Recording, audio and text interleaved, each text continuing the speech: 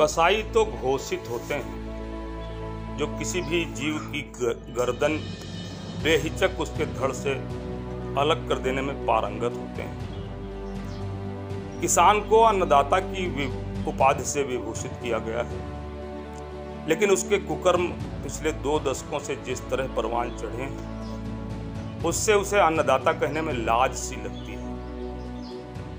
अन्नदाता कहीं ऐसा करता है कोई गाय, बैल उसकी फ़सल न चर सके। इसके लिए उसने जो बहुत से प्रबंध पहले किए, वही क्या कम निंदनीय?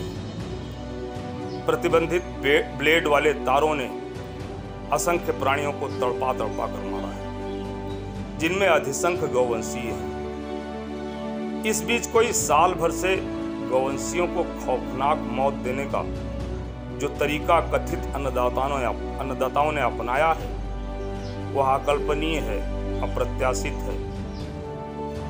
दस लोग एक गवंशी को घेर कर लाठियों से पीटते हैं। फिर उसका आगे का एक पैर, गर्दन, मुँह और सींग सब एक में मिलाकर बाँध देते हैं। ऐसी स्थिति में फांसा गया साड़ नंदी या गाय चलने को तरस जाते हैं। ऊँची मेड़ पर घास देख सकते हैं, लेकिन खा नहीं सकते। क्योंकि एक सीमा के बाद मुँह ऊपर उठता ही नहीं यही स्थिति पानी में भी बनती है।